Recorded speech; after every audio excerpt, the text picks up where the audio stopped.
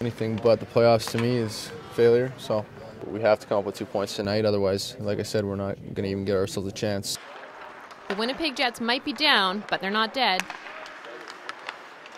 Tonight's game against the Montreal Canadiens is a must win for the Jets, and they have to hope that the New York Rangers and the Ottawa Senators have a complete and utter collapse in their remaining games.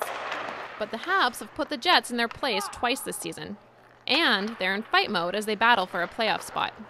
They have speed and skill, and we don't deal well with speed and skill. You know, we're better lately, but they have speed and skill, and that's what's given us some grief against them. Key tonight for the Jets is a strong performance from goalie Ondrej Pavelec. We're going to be ready as a team, and uh, you know we have to be better. We, we don't want to just play; we want to win the game, and then we'll see what happens. Coach Noel sums up what a lot of Winnipeggers are thinking. There is really only one option: win the game. You know.